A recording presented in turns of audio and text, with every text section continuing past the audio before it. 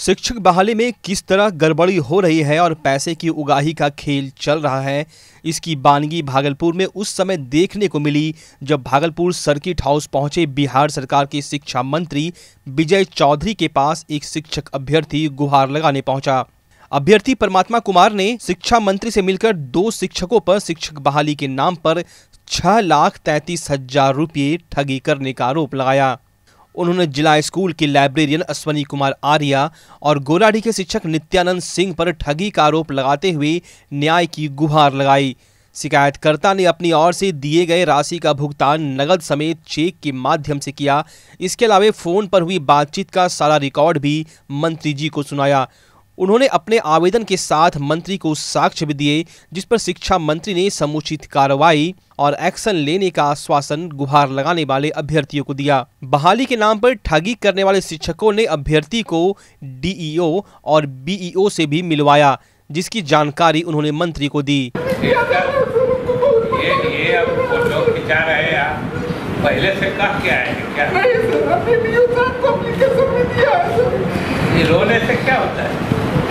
अरे अरे आप बात समझ पा रहे हैं ऐसा है कि भागलपुर के दो शिक्षक हैं, सर। एक जिला स्कूल नवस्थापित के लाइब्रेरियन है, जिसका नाम अश्वनी कुमार आर्या है, और एक नित्यानंद सिंह है, जो गोराडी में शिक्षक के पद पे है। ये दोनों मिल के हमको नौकरी का झांसा दे के सर फर्जीवाड़ा करके, फर्जी नियुक्ति पत्र दे के हमसे छः लाख तैंतीस हज़ार रुपया ठग लिए, सर। इसका आवेदन जब हम डीओ साहब को दिए सारी जानकारी दिए तो बोले डीओ साहब हमारे हैं। ये विश्वास में लाने के लिए सर हमको डीओ साहब के यहाँ भी एक दो दिन भेजे थे। उनके साथ भी हम कई बार डीओ साहब के यहाँ गए हैं सर। मंत्री? जी बोले कि इस पर हम कार्रवाई करेंगे। जब एफआईआर हम किए, सर एफआईआर होने के बाद हम सारा साक्ष्य एफआईआर में दे दिए वहाँ पे, सर, कि हमने चेक के द्वारा दिया है, नगद दिया है, सारे का मेरे पास रिकॉर्डिंग भी है, सर जैसे जैसे हमारी बात हुई है, सर। और उसके बाद आई उसका जो नित्यानंद सिंह का भैगना है, जिसका नाम संतोष सिंह है, वो आईओ से मिल के और मेरे केस को ख़त्म करवाने का चक्कर कर रहा है, सर, दबाने का कोशिश कर लिया जा रहा है। नित्यानंद सिंह गोकुल विवाह भवन शीतला स्थान में रह के नौकरी लगाने का काम बहुत दिनों से कर रहा है, सर, और करोड़ों करोड़ का गमन किया है, sir. Narcotics control bureau Patna की टीम को यह गुप्त सूचना मिली कि अरुणाचल प्रदेश से गांजा की बड़ी खेप ट्रॉली ट्रक से भागलपुर लाई जा रही है। जिसके बाद एनसीबी के पदाधिकारी और कर्मी देर रात भागलपुर पहुँचे, जहाँ उन्होंने भागलपुर पुलिस के सहयोग से ज़ीरो माइल में नाकाबंदी कर वहाँ से गुजरने वाले ट्रॉली ट्रकों की जाँच शुरू कर दी। इसी क्रम में नागालैंड रजिस्ट्रेशन वाली ट्रॉली ट्रक को रोका गया। ट्रक की ट्रॉली खाली थी, पर जब टीम ने उसकी सघन जाँच की तो ट्रक की ट्रॉली के निचले हिस्से में गुप्त चैम्बर बना मिला। चैम्बर को खोलने पर उसमें दर्जनों सेलो टेप लगे, पैकेटों में भारी मात्रा में गांजा बरामद किया गया। पैकेटों का कुल वज़न 350 ग्राम होने की बात सामने आई है। मामले में गिरफ़्तार अभियुक्त वैशाली जिला का रहने वाला विकास रविदास है, जो त्रिपुरा में रहकर ट्रक चलाता था। उनतीस सितंबर को जगदीशपुर प्रखंड के सभी चौदह पंचायतों में होने वाले पंचायत चुनाव को लेकर राजनीतिक तापमान आसमान छू रहा है। दूसरे चरण के चुनाव को लेकर चुनाव प्रचार में काफ़ी तेज़ी आ गई है। 27 सितंबर को शाम पाँच बजे जगदीशपुर के सभी पंचायतों में प्रचार अभियान थम जाएगा, जिसको लेकर सभी प्रत्याशियों ने अपनी पूरी ताकत झोंक दी है और रैली निकालकर अपना शक्ति प्रदर्शन भी कर रहे हैं। जगदीशपुर प्रखंड के बलुआचक से निवर्तमान मुखिया और मुखिया प्रत्याशी मुकेश मंडल अपने सैकड़ों समर्थकों के साथ मोटरसाइकिल रैली निकालकर पंचायत के गांव-गांव जाकर लोगों से अपने द्वारा किए गए विकास कार्यों के लिए मतदान करने की अपील की। इस दौरान मुखिया प्रत्याशी मुकेश मंडल ने लोगों से मिल रहे समर्थन, सहयोग और प्यार को देखते हुए अपनी जीत का दावा भी ठोक दिया।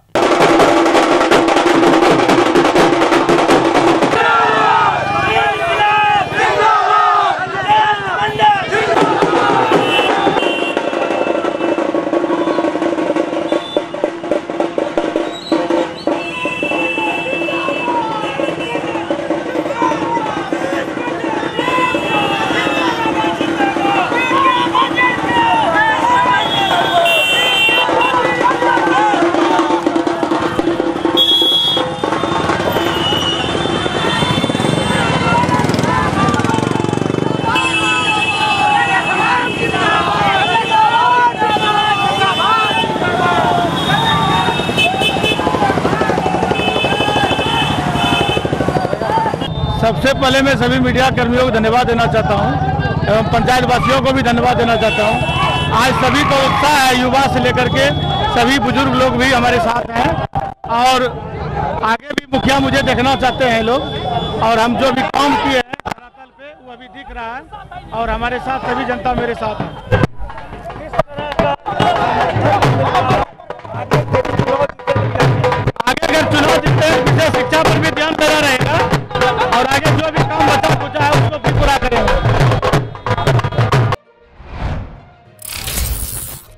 भागलपुर ज़िले के जगदीशपुर प्रखंड में 29 सितंबर को होने वाले पंचायत चुनाव को लेकर राजनीतिक सरगर्मी काफ़ी तेज हो गई है।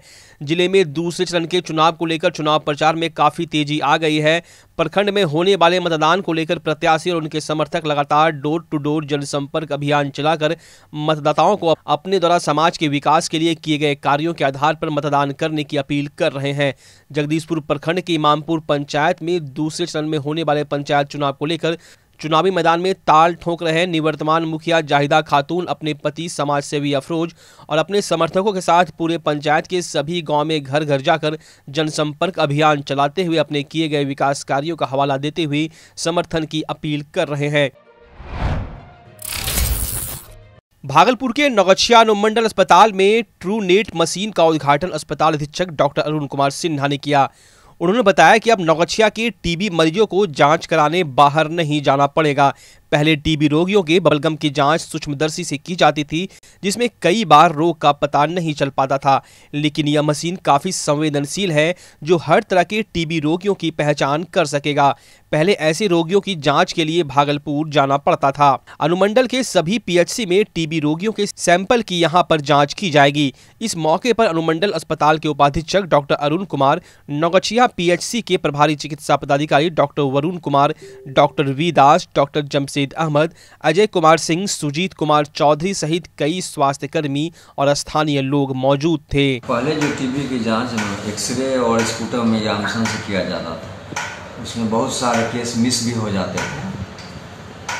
वैसे केसेस में टीबी के सहित इलाज नहीं हो पाता था। उसी के लिए एक ट्रू नेट मशीन यहाँ भेजा गया है, जिससे कि मतलब इसकी सेंसिटिविटी काफ़ी है, जिसमें कि स्पूटम से डीएनए सेपरेट करके उसका जाँच किया जाता है।